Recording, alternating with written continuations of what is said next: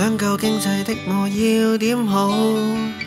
出去消費搭車實在有難度，為何不很禮貌？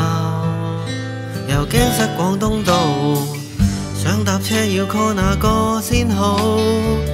收費很合理，不用賣晒廣告，成日 call 車的你我。來揀個貼心周到，難，车，行运全港真系好嘢。于尖沙咀过海返湾仔北角，冇怕过条红隧多车。我每次去 call 车，我会拣呢一间 call for van，有载货或远行就记住 call 车。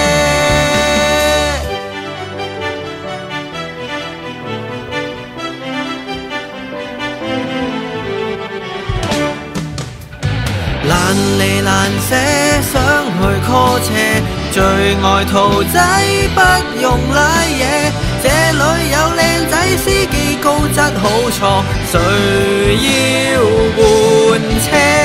难离难舍，总要 call 车，最有良心司机好嘢，任世间很多间 call 车，我只揾你，成日接单狂做嘢。